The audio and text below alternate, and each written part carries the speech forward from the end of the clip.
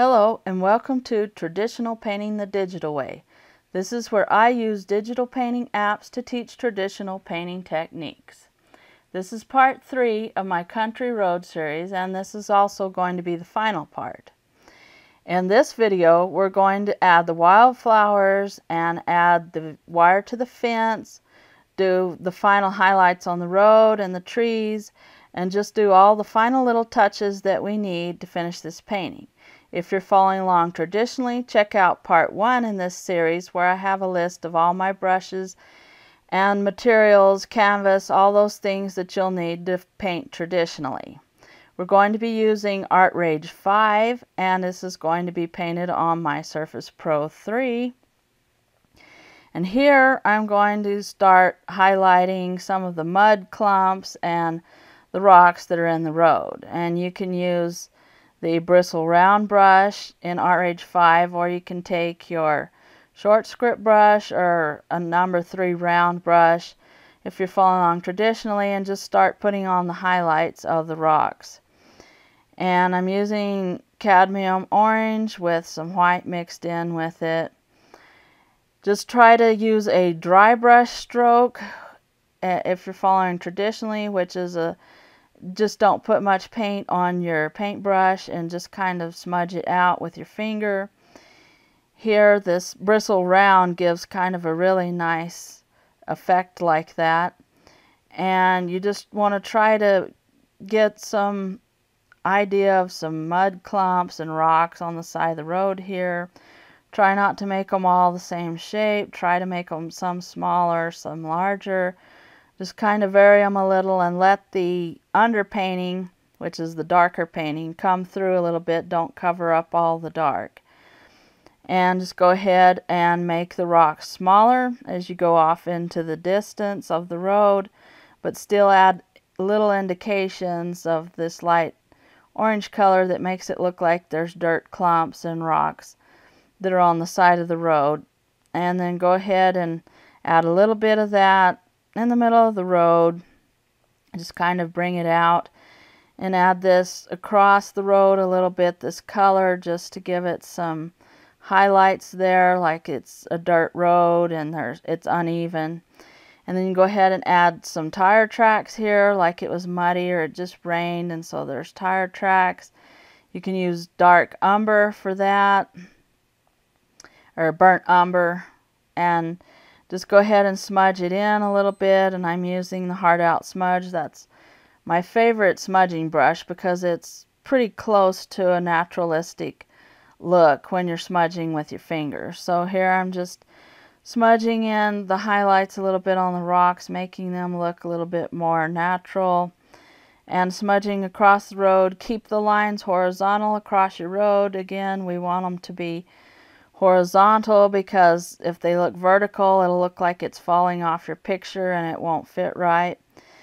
And then go ahead and sort of work on the tire tracks make them jagged a little bit and just go ahead and and smooth them out a little too make it look like there's dirt across them and that just sort of gives it a naturalistic look Next we want to use our dry clumps brush and just bring up some of the grass in between the mud clumps and the rocks and just make it look like the grass is growing along the edge of this country road here and bring in some of the grass a little bit on the side of the road on the outside by the tire tracks and just go ahead and use the dry clumps brush to bring up clumps of grass here and you can match it to the colors of the grass. So in the corner the grass will be darker and then as you go towards the middle ground of your painting it's going to be a lighter green. And then as you go towards the horizon you still want to add little sprigs of grass but they're going to be a lot smaller and less detailed and you want those to be a phthalo yellow green or sort of a light green and you can add the light green towards the the bottom just to give some contrast there like there's some light peeping through the clouds and, and hitting the grass right there and, and glinting off the grass a little bit. Here I'm sort of smudging in the bottom of the clumps so that they look more natural and just go ahead and, and keep doing that and working on the grass along the side of the road. Here I'm going to use my Bristle 7 brush just to add a little bit more highlights to the road here, add some more uh, dirt clumps and rocks a little bit back into the grass there just so that it looks like you can see those poking through the grass a little bit. You can do this with your round brush or your short script brush. If you're following along traditionally, just use a little bit of the highlight color, some cadmium orange or some light burnt sienna mixed with white. Just kind of do some touches on the road and and kind of add a little bit more of some dirt clumps looking along the side of the road. And then we also want to give it a little bit of a gravel look. So here I was searching for a, a brush that would give me a, a gravel look. And so I found the Particles Snow 2 brush, which is really good. And it gives you a, a little gravel look. And if you're following along traditionally, take an old toothbrush, dip it in some really thinned out paint, and flick it on your canvas and use the light highlight color and also use some dark umber color and that just gives you light and dark gravel. And just flick it on your road some of it on the tire tracks just a little bit towards the end of your road. Not a lot but just a little bit to give indications of gravel. And here I'm going to highlight the fence posts and again our light is coming from the left side. So you want to go ahead and take some cadmium orange light and I'm using the dry clumps brush and I'm making just jagged strokes. And I'm highlighting all the way into the distance. And you just kind of have to be careful to keep your strokes thin enough. And here I'm also adding some really thin strokes on the rocks just to give it kind of the final highlight here and again, I'm just using the cadmium orange mixture with white acrylic gesso, just a really light dirt color, sort of. And I'm just doing the final little highlights on the rocks here, just trying to give indications of rocks peeking up out of the dirt and also old mud clumps that have been thrown up by the tires. And then you want to start doing the detail on your grass.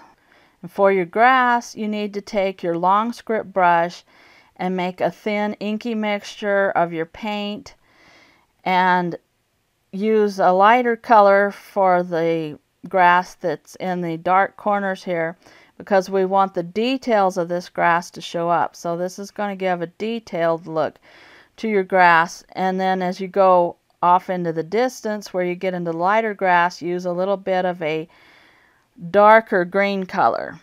And you want to go ahead and do this on both sides of the road. Also put some of these thin individual strands of grass in the road just to give it a look of that the grass is sort of growing along the edges. Put some in the middle where it would be straddled by the ruts.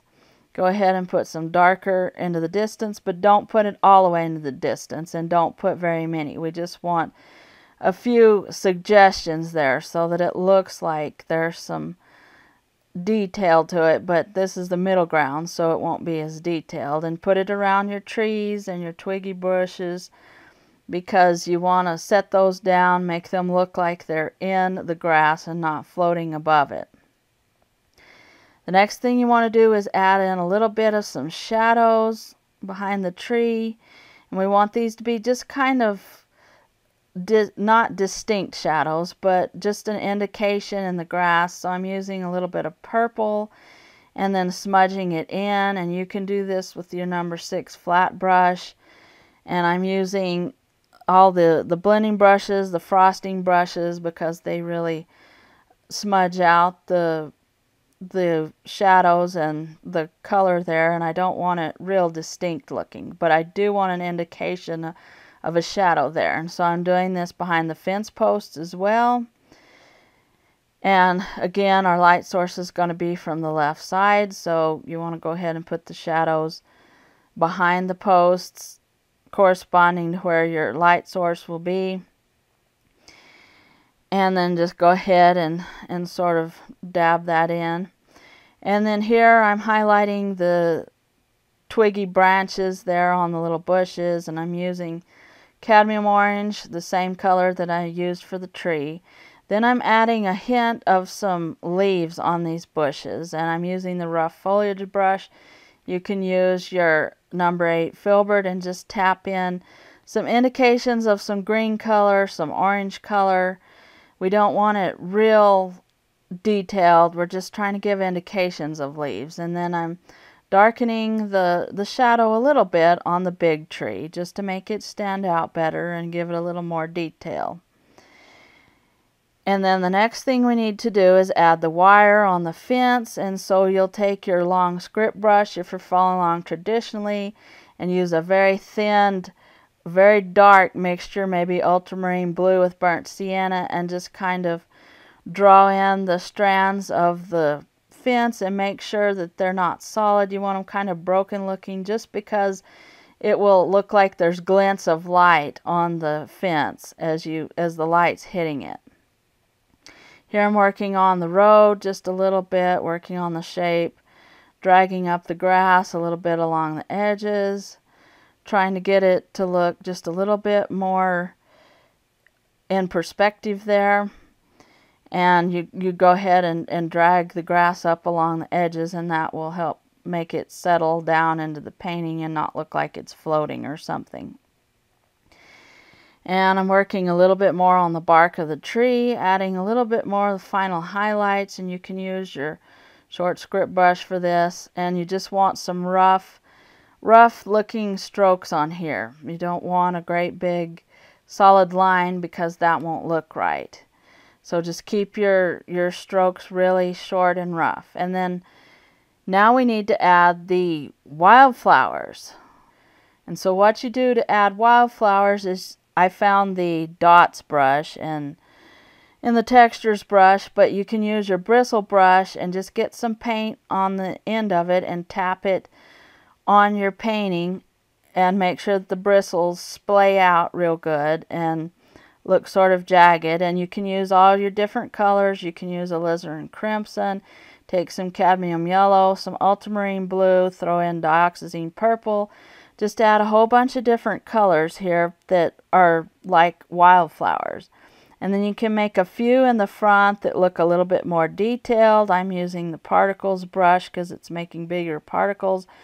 But you can take your short script brush and just make short little strokes that give the indications of some more detailed flowers. But we don't want them real detailed in this picture. We're just trying to get a indication of flowers and then you want to go ahead and add indications in the back with some white probably cadmium orange with a little bit of white and add the branches to the trees in the back. But you don't want them to be real prominent so kind of smudge them out. Just give indications in the back there. Then if you're satisfied just go ahead and sign it and call it done. So this is the end of my Country Road series. I really enjoyed testing out all the new ArtRage 5 brushes and they really have some neat new brushes and some neat new features in this new release. So thanks everybody for watching and stay tuned for a brand new series that will be coming out very soon. Thanks everybody for your support. If you have any questions, just leave them in the comments down below and I will catch you later.